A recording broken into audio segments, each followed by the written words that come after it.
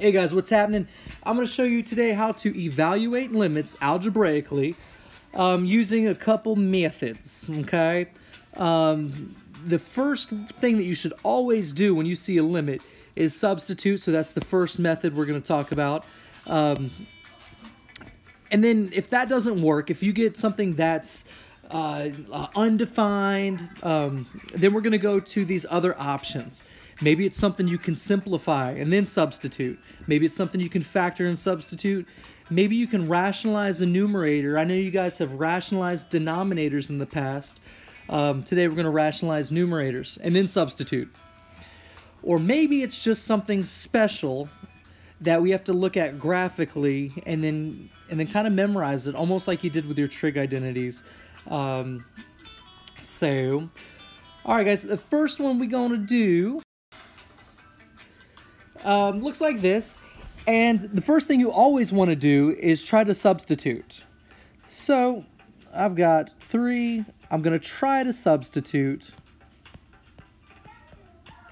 Okay, I substituted to see if it works. Let's see if I can just evaluate this limit.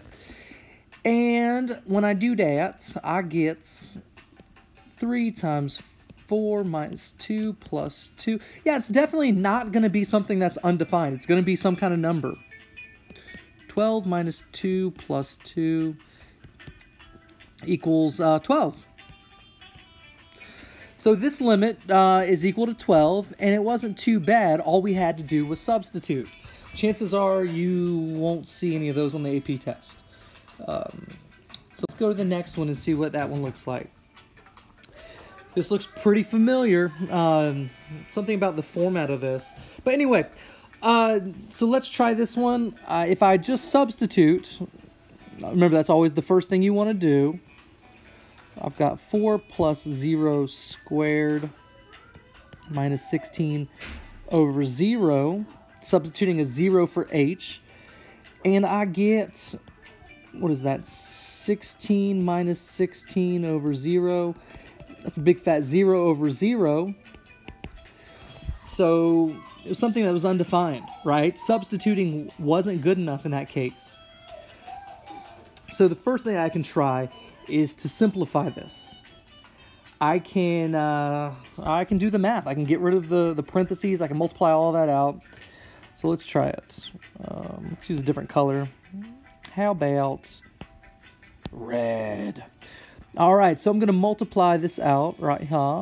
And I've got the limit as h approaches 0. When I multiply that out, I can think about my uh, shortcuts for, for squaring a binomial.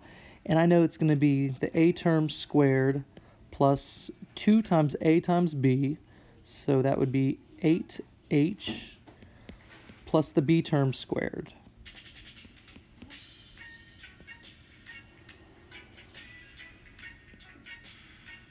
Alrighty, so let's see if I can keep simplifying. I see a 16 and a minus 16.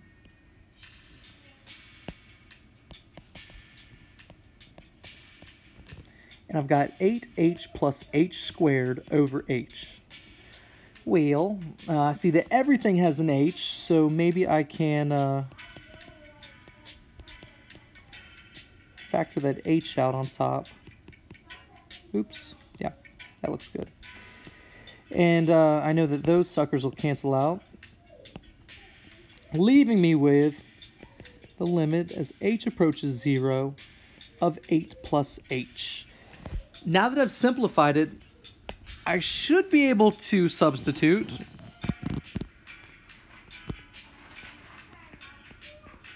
And now I do I, I do get something that's defined. 8 plus 0 is just 8.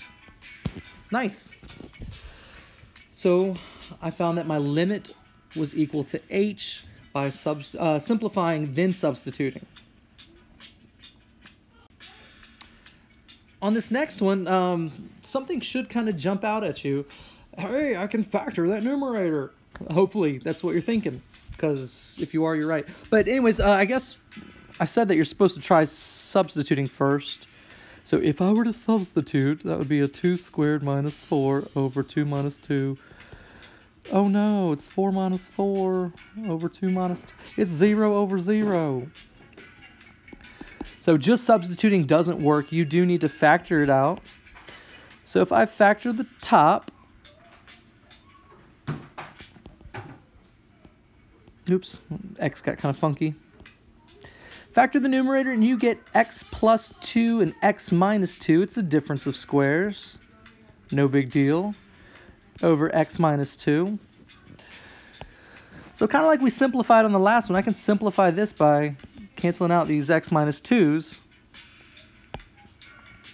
So it's really just the limit as x approaches 2 of x plus 2. Nice. And now that I've done that, I've simplified it, and I can see if uh, I can substitute now. Let's plug the 2 in there. All right, plugging a 2 in. That's 2 plus 2. Boo! No big deal, all right? So we got two tool uh, tools in our tool belt there. We can simplify, we can factor. And the last one I'm going to show you is uh, sometimes you got a radical in the numerator. All right, well, we can deal with that. Um, and the way I can simplify this guy is by multi multiplying by the conjugate. Now, in pre-calc, I know you guys rationalized denominators. That was cool.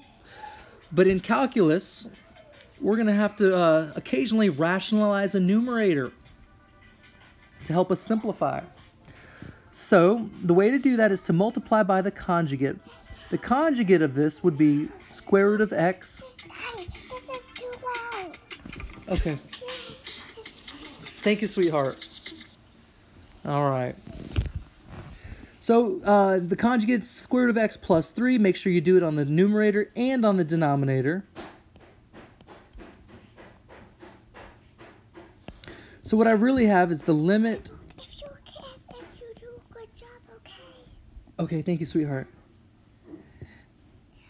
And I can. a, a chocolate pretzel too. Okay, thank you. Say hi to all the kids. Say hi, kids. Hi, kids.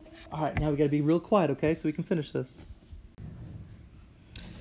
Alrighty, so uh, I got some little people that want me to be done. So let's um, let's simplify this numerator by multiplying. So, and if you notice, that's kind of a difference of squares there. So it's kind of quick to multiply out. Square root of x times the square root of x. I'm foiling.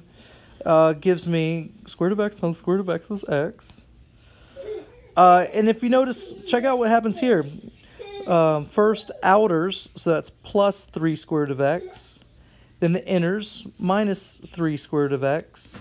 And then the last, negative 3, positive 3, negative 9. So if you notice, then uh, those two middle terms canceled out nicely.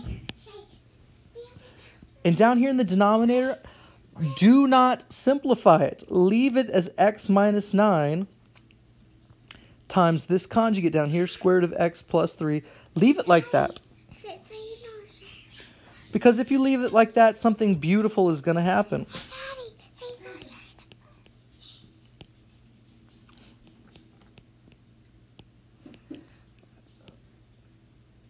So, because we left the bottom unsimplified, I see that this x minus 9 that I had in the numerator is going to cancel out with the x minus 9 in the denominator. It's okay, baby. We're almost done. Mama, my sister's not with me. All right, I'll talk to her in a little bit. We're almost done, baby. All right, so um, you notice those cancel out. So really, I just have a 1 in the numerator and a square root of x plus 3 in the denominator. So um, that doesn't look that bad. Now, now I can try to uh, I can try to substitute again. All right, let me rewrite this so it looks better. Limit as x approaches 9 of 1 over square root of x plus 3. And we're trying to simpl- uh, substitute again to see if it works. So, square root of 9er plus 3. Square root of 9 is totally 3. So my final answer is a 1 over 6. Cool. It worked. Yay. Um, now I'm going to go ahead and do one more. All right, let's do one more. Um, because there's a a cute little distraction on the last one. So let's say that I have got the limit, um, and the function shall be square root of x minus 4 over x minus 16. And let's say that x is approaching 16. If I just uh, substituted, it would totally give me a 0 over 0. So, and I see the radical up here, so I'm thinking, hey, let's multiply by the conjugate. And that conjugate is going to be square root of x plus 4. Got to do it to the numerator and the denominator. Otherwise, it's not fair. All right, so what happens is, um, let's multiply this out like we did the previous one. So we're foiling, but if you notice, this is a um, kind of a difference of squares thing going on up top. So square root of x times the square root of x is x. And then the outer and inner terms are going to cancel out, so I can just skip straight to that last term where I have negative 4 times a positive 4, negative 16. Now remember, do not simplify the denominator.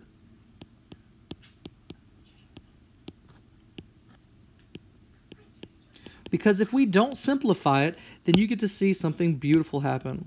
Those suckers cancel out. Now I still have a, a 1 on top uh, in the numerator.